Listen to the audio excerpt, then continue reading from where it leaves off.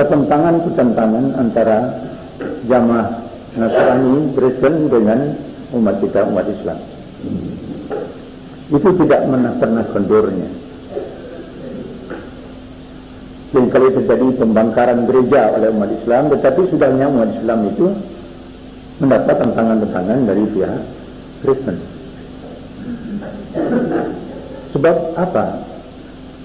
Sebab memang datangnya orang-orang Kristen yang pertama ke Indonesia itu mempunyai misi, mempunyai satu risalah, yaitu untuk membantu Belanda untuk mengamankan dan mengabadikan ke apanya ke penjajahannya di Indonesia ini.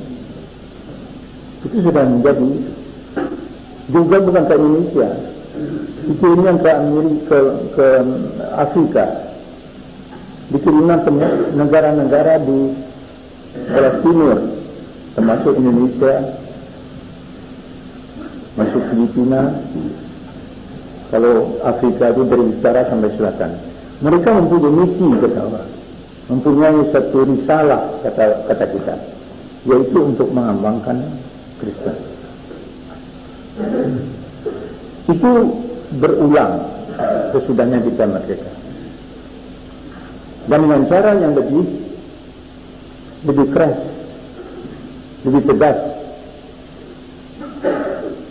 dahulu umpamanya kalau seorang pendeta mau datang ke Banten tidak boleh dia datang ke Banten kalau tidak dengan izin dari Presiden Banten. Tidak boleh. Oleh kan di Banten itu kalau melihat seorang akan menyiarkan agama di tanah Banten itu tidak bisa. Ini terjadi apa-apa. Begitu di dalam zaman penjajahan itu. Ke Aceh tidak ada itu ceritanya mengikuti sana. Jadi ada peraturan-peraturan penjajahan yang justru untuk menjaga keamanan melarang orang-orang Kristen apalagi propaganda-propaganda Kristen di daerah-daerah yang tertentu seperti Banten, Aceh dan lain-lain itu. Tetapi sesudah kita merdeka itu tidak ada lagi. Kita merasa kita satu bangsa satu negara jadi kita bersama-sama hidup Islam dan Kristen itu bersama-sama hidup berdampingan dan berkerukunan begitu sembahyang kita tetapi sudahnya tanggal 18 itu kita tahu. Sebenarnya kita harus tahu dan harus ingat bahwa kehidupan tidak begitu. Tak pernah kerukunan itu hidup dengan tentram, tidak pernah. Dan kalau saudara sekarang melihat bahwa kegiatan daripada pihak Nasrani untuk menasranikan umat Islam, cobalah saudara melihat ke daerah-daerah di sebelah selatan, tim pantai selatan dari Banten sampai ke Cilacap, sampai ke Jogja sebelah selatan, sampai Lumajang, terus sampai ke Banyuwangi. Itu semuanya daerah bulan-bulanan dari orang misi Kristen. Di Cilacap ada pelabuhan besar, pelabuhan Cilacap. Seperti tingkatnya pelabuhan internasional itu. Tapi orang tidak begitu perhatikan pelabuhan Cilacap. Yang diperhatikan orang Tanjung Priok, Semarang, Surabaya. Cilacap tidak pernah orang menyebut-nyebut. Tapi selajap itu mempunyai dua fungsi yang tertentu. Tiap bulan, paling sedikit satu kali, kalau tidak dua kali atau lebih. Datang kapal-kapal dari Australia, kapal dari Eropa juga khusus membawa barang-barang makanan, pakaian dan bulgur itu beras bulgur itu. Bermacam-macam lah yang datang. Hadiah dari orang-orang misi orang Kristen di luar negeri. Itu dikumpulkan di Australia, di Kanada, di Amerika, dan di Eropa. Dikumpulkan dibawa ke Cilacap, dari Cilacap, begitu kapal datang, truk-truk sudah tersiap di sana itu. Untuk mengambil dari Guana, kadang-kadang Guananya periksa semua atau tidak, terus masuk truk dan terus berjalan ke Purwokerto dan dari Purwokerto dibawa terus ke daerah-daerah yang disebutkan tadi dipilihnya daerah selatan itu oleh karena Islam itu datang pertama kali kan di daerah utara. Nah, selatan itu tidak begitu uh, apa masih mudah membelokkan keimanan mereka itu. Eh, itu menjadi sasaran. Dan itu mereka mendirikan gereja yang bukan main besar, banyaknya. Lebih banyak daripada yang diperlukan oleh orang Kristen. Mereka mendirikan gereja itu bukan untuk hari ini. Tidak. Untuk 10 tahun yang akan datang. Dan gereja itu kadang-kadang kosong. Tetapi hari Sabtu, hari Minggu, mereka persiapkan orang yang akan beribadah pada hari Minggunya di gereja itu. Bagaimana persiapannya? Dengan bus dikumpulkan orang agak 50 orang atau lebih atau dua bus atau satu bus dibawa beredar melalui ya, mengunjungi satu gereja demi gereja. Jadi orang yang dibawa dengan bus itu melakukan ibadah berulang-ulang dalam satu hari. Tetapi gerejanya bermacam-macam supaya nampaknya gereja itu memang penuh dengan umat Kristen. Begitu cara-cara yang kepintaran yang mereka lakukan di bidang ini. Ini keadaan yang nyata yang bisa dilihat diperiksa, bukan khayali. Dan mereka tidak banyak beribu-ribu dalam gereja itu, tidak. Jangan disangka bahwa gereja itu untuk menyebarkan Kristen, tidak. Itu nanti menampung orang yang sudah Kristen. Tapi cara dakwah mereka itu ke rumah-rumah kita. Dulu orang biasa menerima majalah-majalah Kristen, buku-buku Kristen. Sekarang bukan buku-buku, makanan, bulgur yang datang dari luar negeri itu, yang berkumpul di Cilacap, itu dibagi-bagi. Mereka datang ke rumah-rumah orang miskin yang sedang lapar, tidak bicara apa-apa, kasih makanan dulu. Ini. Tidak ada uang, ini uang mau berdagang ini pinjaman tidak usah sekarang bayarnya kapan bisa saja. Sekali sebulan boleh tapi datang ke kantor. Tiap bulan datang kantor ansurlah berapa yang dapat. Kalau di daerah Semarang itu diadakan rumah. Orang-orang yang tidak punya rumah diadakan rumah yang sederhana. Di, mereka tinggal di sana katanya harus dibayar. Ya dibayar kapan bisa saja jadi mereka tidak banyak bicara-bicara Bible atau apa-apa.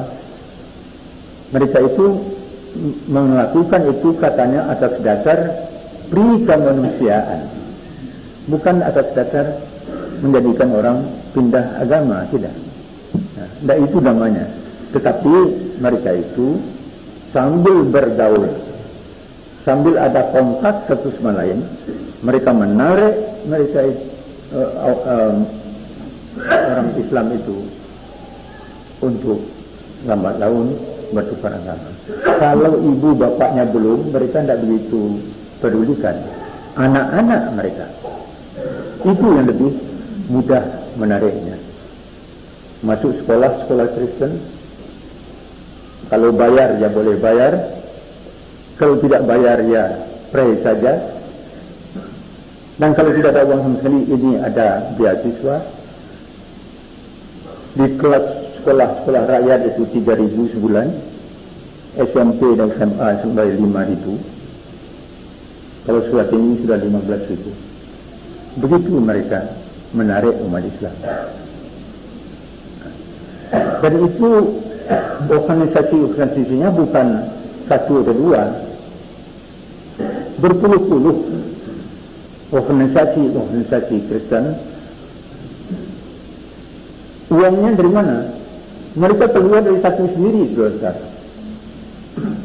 Dari satu sendiri mereka itu keluar. Tetapi itu dibantu oleh orang-orang yang dari luar negeri. Kalau di Jerman itu ada semacam pajak bagi orang-orang Kristen di Jerman 3% satu tahun dari pendapatnya. Tetapi tadinya maksudnya untuk gereja-gereja. Tapi gereja sana kosong.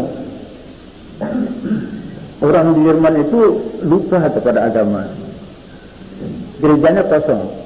Tetapi pajak ini terus diambil. Setiap tahun terlunggulah uang banyak sekali. Itu diberikan kepada Katolik dan Protestan internasional. Kalau ada satu perkumpulan yayasan untuk mengadakan propaganda Kristen itu dapat dari sana. Begitu juga di Kanada, begitu juga di Australia, itu perkara uang mereka tidak menjadi soal. Caranya cara simpatik, caranya menarik hati, bukan banyak bicara. Seseorang tertarik itu masih lama mungkin dekat dan sudah itu menerima apa yang katakan.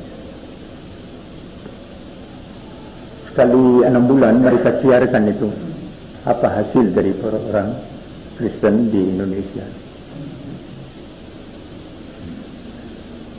Dan kalau kita melihat statistik daerah Yogyakarta itu mereka melakukan kegiatan yang besar sekali.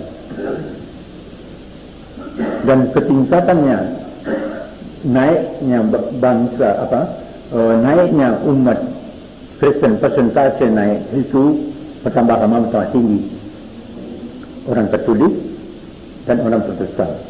Tapi politik, politik eh, Katolik lebih daripada orang Protestan. Umat Islam juga jumlahnya naik. Kalau dulu dua setengah persen, katakanlah ini juga sekitar itu, tapi lebih rendah dari itu. Kalau mereka itu membubung berlipat ganda satu tahun. Ini fakta fakta boleh diperiksa. Sekarang kita bagaimana? Pertanyaan sekarang kita melihat orang bekerja begitu. Kita bagaimana? Allah SWT memperingatkan pada Al-Quran. Wadda kathirun min ahli kitab. Lau yarzudunakum min ba'i imankum kufara. Sadaqallah Nabi. Diperingatkan kepada kita. Wadda kathirun min kita.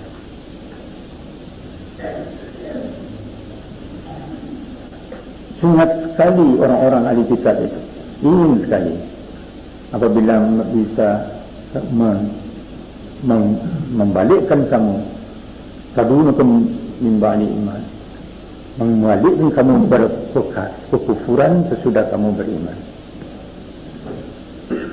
ini peringatan Allah. Kita baca itu. Jangan disangka mereka itu hanya bekerja biasa saja. Tapi Rabbu, mereka itu bertekad. Bertekad untuk berjuang. Kalau kita namanya berjihad untuk kita. Tapi mereka berjuang keras untuk mengembangkan agamanya dan fasilitas bagi mereka itu banyak sekali. Fasilitas dari luar negeri berupa materi, keuangan, dan tenaga-tenaga ahli itu dikirim ke Indonesia. Berapa banyak tenaga-tenaga ahli.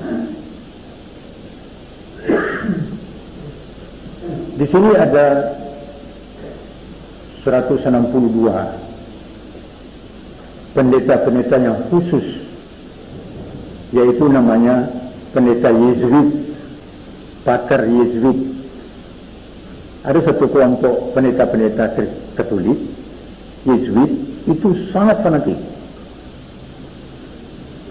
mereka kalau melakukan pekerjaan itu betul dengan sungguh-sungguh berjihad mereka itu kalau boleh katakan berjihad. Nah. Salah satu dari mereka itu adalah Pastor Wijoyo namanya. Dia tinggal di Jakarta ini menjadi redaktur dari surat kabar majalah hidup. Dan di akhir-akhir ini sangat aktif sekali.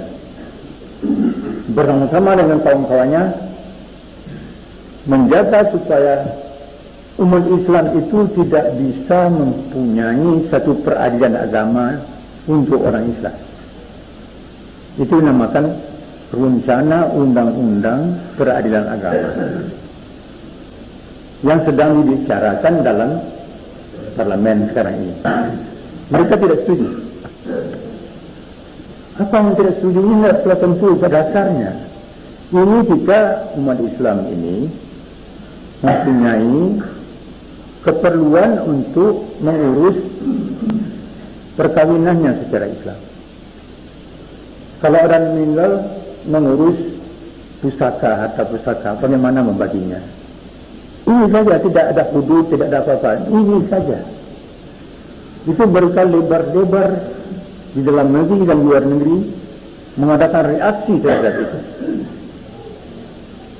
Kalau Pakar Wijaya tadi itu, dia orang orang Jawa Tengah. Kelahiran di Batas tapi kalau pembicaranya itu seolah dia itu bukan orang Indonesia. Tidak ada sedikit pun tengah rasa kalau dia menulis dalam surat kabarnya majalahnya dia mengatakan tidak ada toleransi terhadap apa yang namakan piagam Jakarta Padahal piagam Jakarta itu sudah dicabut dari itu dari anggaran dasar kita. Tapi dia menggambarkan bahwa ini ada semusuh yang bernama piagam Jakarta. Itu harus dihadapi oleh orang Kristen. Tidak ada toleransi. Tidak ada tengah rasa.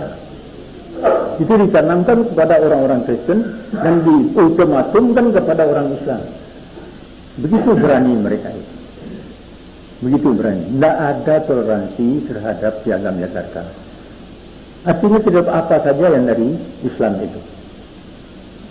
Waktu kita mengandalkan undang-undang perkawinan menurut Islam, mereka tidak setuju. Karena tidak mengganggu mereka sedikit pun. Tidak mengganggu mereka sedikit pun. Kita mengurus diri kita kawin, cerai menurut Islam. Itu tidak setuju mereka. Tapi Alhamdulillah undang-undang itu jadi juga selesai. Tapi sudah sudah apa namanya berdiri begitu, tidak seperti yang kita harapkan darinya. Itu begitu. Waktu akan ada pemungutan suara, mereka menunjukkan bahwa mereka tidak setuju kalau pemungutan suara umat Islam menang dalam jumlah suara. Tetapi untuk menunjukkan bahwa mereka tidak setuju, mereka keluar dari rapat sidang, meninggalkan sidang parlemen untuk menunjukkan dengan demonstratif, secara demonstratif bahwa mereka tidak setuju dengan Di mana tengah rasanya sebagai warga negara Republik Indonesia? Tidak ada. Kita urut dada kan? Urut dada. Di waktu kita mengadakan parlemen mengatakan undang-undang pendidikan. Makanya terus menerus mereka itu memprotes ini, memprotes itu. Umpamanya kita menuntut kalau pelajaran agama itu harus diberikan oleh orang yang beragama itu sendiri. Jangan agama Islam diberikan oleh guru yang beragama Kristen. Itu terjadi itu di sekolah-sekolah. Nah ini kita membatasi kalau memberikan pelajaran agama di sekolah itu harus menurut kayak orang yang memberikan itu orang yang beragama agama yang diberikannya yang diajarkannya kalau agama Kristen diajar oleh orang Kristen pelajaran agama Islam diberi oleh orang Islam. Itu tidak khusus. Itu ke mana dia punya maksud itu? Maksudnya ialah supaya agama Islam itu dia diajarkan oleh seorang Kristen yang bisa mengungkap balik segala macam. Itu kita urut dada. Diam saja. Nah sekarang undang-undang rencana undang-undang peradilan agama. Nah, itu dikatakan bahwa ini sudah dekat dengan apa namanya? Piagam Jakarta ini. Seolah negara ini sudah menjadi negara Islam. Seolah begitu. Di surat tulisan-tulisannya dengan mengadakan rapat sini, rapat sana mengirimkan utusan-utusan ke, ke parlemen untuk menerangkan bahwa mereka tidak setuju. Mereka aktif. Aktif sekali sekarang bagaimana kita umat Islam? Kalau cara Sundanya cicing baik diam-diam saja. Senang-senang saja. Memang sudah ada. Tidak cicing betul-betul. Tetapi ada yang menulis. Ada yang berceramah. Rupanya Dr. Ismail Suni profesor di UI ada Dr. Daud Ali. Ada juga saudara Yusril orang kita dan jadi selama juga sudah ada datang sidang. Tapi apa isi sidang itu kita baca surat kabar sedikit sekali. Alhamdulillah Muhammadiyah. Pimpinan Muhammadiyah sudah bertemu dengan Pak Arto. Ya itulah. Tetapi mereka lebih aktif. Lebih aktif. Dan selalu mengatakan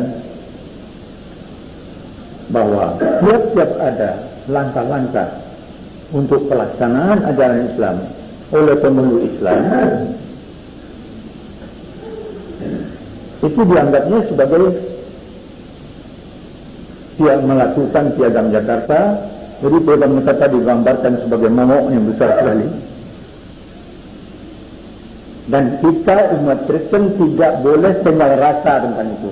Tidak ada toleransi terhadap itu dan kalau tidak toleransi apalagi alternatifnya dari toleransi kalau tidak ada tinggal rasa apa alternatifnya hmm. Tidak diberikan sebut anunya alternatifnya. Apa konfrontasi? Tapi tidak disebutnya itu. Tapi konfrontasi dalam arti tidak fisik, tidak berkelahi bertinju begitu, memang konfrontasi dalam pikiran, pikiran. Dalam cara kita berpikir, cara kita menganut kepercayaan, itu betul-betul konfrontatif. Coba kalau saudara-saudara punya anak ingin sekali melihat anak itu sekolah yang bagus bagus gedungnya gurunya pandai-pandai walaupun dia dari Kristen dan kalau dia sekolah Kristen sebelum dia diterima maka yang punya anak harus menandatangani lebih dulu bahwa anak itu tidak keberatan untuk menerima ajaran-ajaran Kristen di sekolah. Beberapa jam satu minggu diadakan ajaran Kristen. Agama Kristen diajarkan dalam sekolah menurut kurikulumnya. Nah, ibu pak murid mesti mentangani tidak keberatan anaknya diajar Kristen. Apa ini? Kalau ini terus menerus, artinya anak kita itu diberi kesempatan menjadi kufur. Itu artinya. Jadi bukan buat tapi kita saja yang yaduna yang menginginkan menjadi kafir sudahnya beriman, tapi Orang punya anak pun bersedia asal dapat ilmu, biar dia dia tidak beragama Islam. Ini akibat dari keadaan sekarang ini. Dalam salah satu pertemuan kita di Menawar ini, berapa tahun lalu, saya pernah menceritakan satu berita yang waktu itu sangat baru. Tapi barangkali terbanyak kita lupa. Boleh saya asal saya ulangi itu. Bagi tahun yang belum mendengar. Ada di satu daerah di kota Jakarta ini.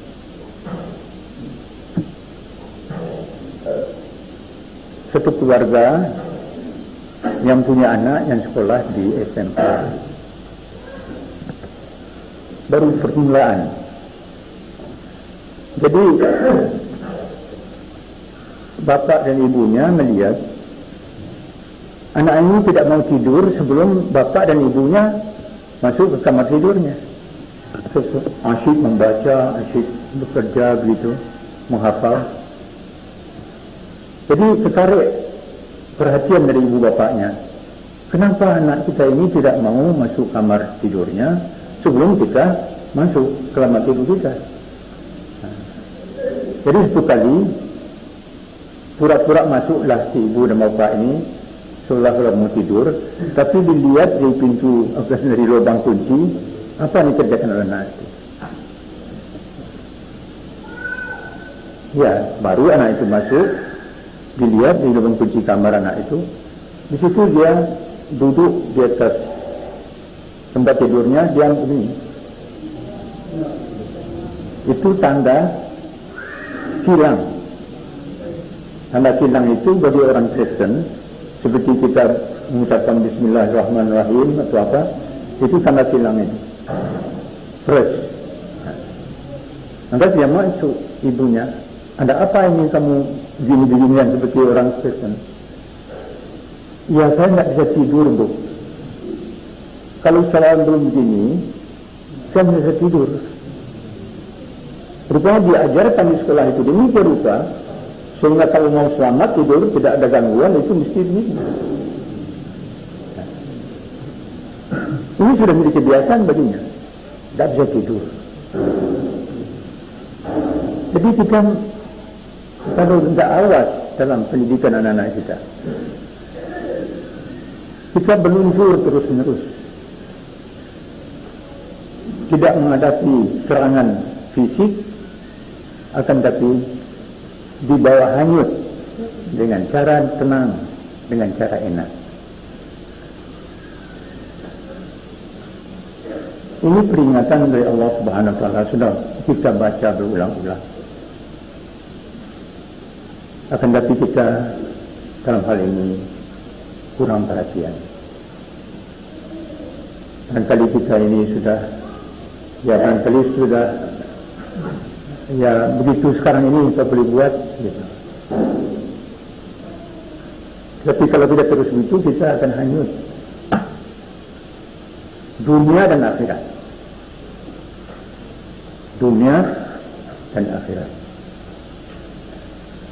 Saya tidak mengatakan kita harus konfrontasi dalam arti fisik. Tapi jangan kita membiarkan semuanya ini. Kita melihat gereja-gereja itu bertumbuhan sebagai cendawan di tengah-tengah kita. Di mana orang Kristen itu tidak, tidak cukuplah untuk mengisi gereja itu. Tapi seperti yang saya katakan tadi, itu diadakan sekarang tapi untuk beberapa tahun yang akan datang untuk penampung jamaahnya yang sudah bertambah lama, bertambah besar. Padahal kalau ada protes dari umat Islam, kalau pendengar mengatakan bahwa kami tidak bersedia atau tidak setuju di daerah kami ini diadakan gereja Kristen oleh karena kami ini adalah orang Islam semua, itu ada peraturan dari pemerintah itu tidak dibolehkan mereka kalau tidak serelanya orang orang Islam yang ada di situ. Ada peraturan yaitu ditangani oleh dua menteri, Menteri Agama dan Menteri Dalam Negeri. Jadi kalau umpamanya terdengar-dengar kiri kanan akan ada gereja, kita terus datang ke Pak Bupati atau Pak Camat dulu atau Pak Lurah, Pak Lurah dan terus ke atas, tapi sekumpulannya Pak Bupati. Katakan Bupati kami keberatan.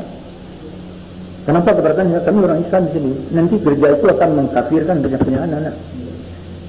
Jadi cukup.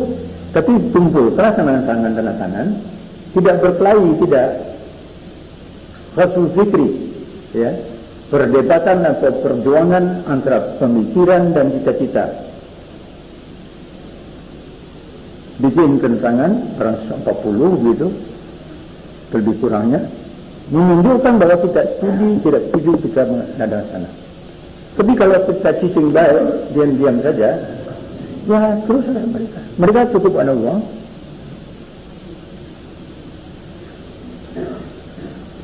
Jadi kelemahan kita tidak mengadakan reaksi. Tidak mengadakan reaksi. Seolah-olah ini sudah mestinya begitu. Atau seolah-olah kalau kalau kita memprotes nanti kita dianggap ekstremis. Dan kalau sudah dianggap ekstremis itu kita nanti kena marah sini, marah sana. Kita tidak bisa berdagang lagi atau bagaimana atau kalau nak, tidak bisa naik pangkat kalau kita bekerja dengan pemerintah takut takut dengan hal-hal macam itu. Jadi lambat laun sifat umat Islam di Indonesia ini tidak lagi seperti umat Islam dulu yang pergi dengan labu runcing pergi ke front untuk mengadu tenaganya dengan menghadapi orang Belanda dan orang asing. Tidak.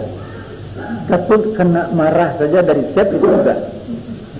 Diam Nah, ini kebudayaan baru ini mesti lekas-lekas kita hapus. Ini budaya baru nih bagi umat Islam di Indonesia, bukan ini. Kemerdekaan Indonesia ini dimulai perjuangannya oleh umat Islam. Sesudahnya perjuangan dengan senjata fisik berhenti, Aceh sudah takluk, Sulawesi sudah tidak berdaya lagi, Kalimantan tidak bisa lagi, di Ponorogo sudah tidak ada lagi Imam Bonjol tidak ada lagi. Perjuangan secara fisik badaniah peperangan itu berhenti pada permulaan abad ke-20 ini. Tetapi mulai itu tahun-tahun 1910 ke atas yang mula-mula menyisingkan baju untuk mempersiapkan kemerdekaan itu umat Islam Mulanya dia datang tidak politik-politik tetapi isinya politik. Itu mengadakan syarikat dagang Islam Indonesia di Yogyakarta. Syarikat dagang saja, tapi pakai Islam. Islam itu dibawa. Ha anaga. Kami ini orang Islam. Sesudah itu tahun 1912 baru politik ada PSI Partai Serikat Islam. Islam. Suatu di bidang sosial dan pendidikan Muhammadiyah. Orang Kristen tidak ada. Melainkan mempunyai Budi Utomo untuk orang Jawa dan ada juga barangkali kumpulan Madura. Itu regional. Daerah per daerah ada tapi dalam arti kebangsaan menyeluruh Indonesia itu hanya orang Islam. Syukru Aminoto tidak memikirkan Jawa Barat, tapi menyebutkan Indonesia keseluruhannya. Haji Abu Salim tidak menunjukkan Minangkabau, tapi seluruh Indonesia. Itu batu-batu pertama yang dipasang oleh umat Islam untuk memerdekakan Republik Indonesia. Tapi sekarang sudah sekarang kita yang sudah memberikan modal yang begitu banyak. Dengan salah akibat akibatnya berapa umat Islam yang kena buang dibuang oleh Belanda? Ke Digul perkataan Digul itu terngiang-ngiang dalam telinga orang yang pelajari ilmu sejarah Indonesia. Yaitu tempat mendeportasi membuang orang-orang yang berpolitik. Orang Islam banyaknya. Dengan fisik dan dengan mental. Tapi sekarang ini seolah-olah kita tidak mendapat apa-apa sebagai orang Islam kalau tidak dapat restu kalau tidak restu dari orang-orang yang minoritas Nasrani undang-undang bisa batal kalau tidak ada bukan lantaran suaranya banyak enggak tetapi dengan cara-cara mereka bekerja tidak dengan memakai senjata fisik tidak. Dengan kegiatan mereka itu dengan fikiran dengan ide dengan segala macam cara-cara lobbying kata orang mendatangi pemimpin-pemimpin itu. Bisa gugur apanya jadi kalau kita umat Islam ini hanya akan memperoleh sesuatu apabila minoritas Kristen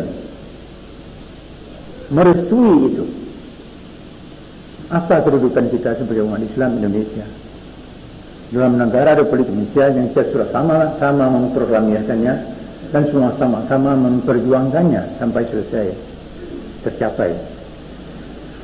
Apa kedudukan kita? Apakah ini kita ini bisa di sini kalau kita di ditolerir? Ya. Ada orang yang mau mengizinkan kita tinggal dalam Republik Indonesia mereka ini.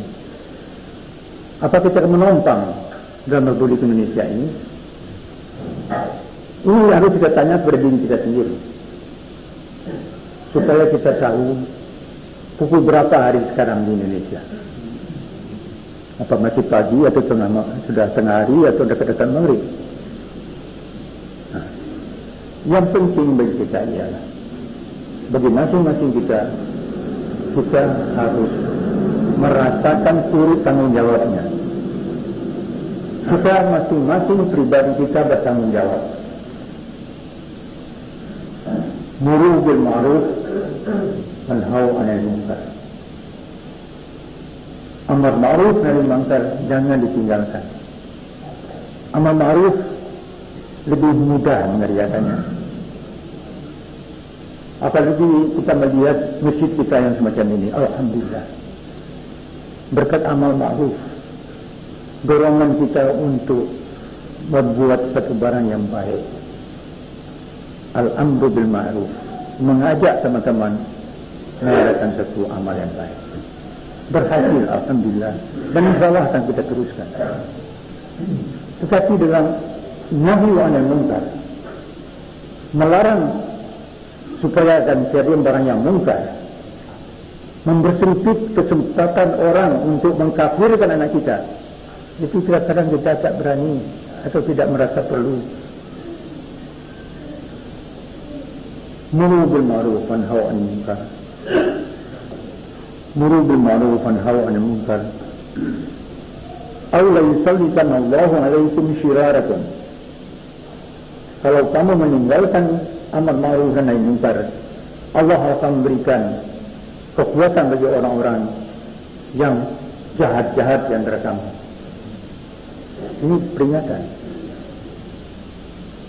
Dan satu lagi nuru bil ma'ruf wan hawa munkar. Qabla an tad'u fala. Juga. Kamu harus melakukan amar ma'ruf terus menerus sebelum datang suatu saat di waktu mana kamu berdoa kepada Allah dan Allah tidak akan menjawab kamu. Jawab tak akan ber, eh, doa tidak akan berjawab. Kalau kita masing-masing kita tidak melakukan walaupun kecil al-amru bin ma'ruf dan nahi munkar. Mulai dengan rumah tangga kita sendiri. Sudah itu di jiran-jiran kita sendiri sesudah itu di antara jamaah-jamaah kita entah jamaah masjid entah perkumpulan-perkumpulan kecil-kecilan asal datang tak satu sama lain. Muru bil ma'ruf anil munkar. Walaupun kita tidak alim ulama kata orang orang biasa saja. Tapi ada yang munkar kita tegur bil ma'ruf pula. Menegur itu juga bil ma'ruf. Saudara-saudara, saya rasa sekedar untuk menggambarkan peta bumi Indonesia sekarang ini. Untuk mengingatkan seperti yang saya katakan tadi, sudah pukul berapa hari sekarang ini di Indonesia bagi umat Islam? Tinggal lagi kita menyadari dan bertanya kepada diri sendiri, apa yang kita harus buat masing-masing pada tempat kita masing-masing. Dengan tidak usah gembar-gembor dan sesuai besar-besaran kita untuk anak-anak kita kesadaran kita ini harus sampaikan dan dijaga sebenarnya. Jangan memasukkan anak-anak kita ke dalam tempat-tempat yang mengkafirkan mereka. Ini minimal. Bukan tidak ada sekolah. Sekolah banyak. Muhammadiyah punya sekolah lain-lain pemerintah punya sekolah yang tidak memaksa anak-anak yang itu keluar daripada agamanya. Tapi kenapa kita sangat tertarik untuk sana itu? Dan diadakan dalam kehidupan kita itu semacam ada batas. Ishadu bi anna muslimun. Kita perlihatkan kepada mereka kami ini adalah orang Islam. Kamu bukan orang Islam. Kita boleh berbaik-baik antara satu sama lain tidak usah berkelahi sama lain tetapi kamu mempunyai identitas Kristen aku pun mempunyai identitas Islam Ishadu bi anna muslimun kita mempunyai agama sendiri, mempunyai etikat sendiri, mempunyai syariah sendiri, mempunyai kepribadian sendiri. Jangan kepribadian Islam itu kamu singgung-singgung kalau kita mau hidup baik-baik. Tenggang rasa diperlukan antara satu sama lain. Kalau kita mau rukun hidup. Kalau rukun hidup itu dapat kita tegakkan itu syaratnya ada toleransi dan ada tengah rasa. Kalau tidak ada toleransi dan tengah rasa, tidak akan ada rukun hidup, kerukunan hidup di Indonesia ini.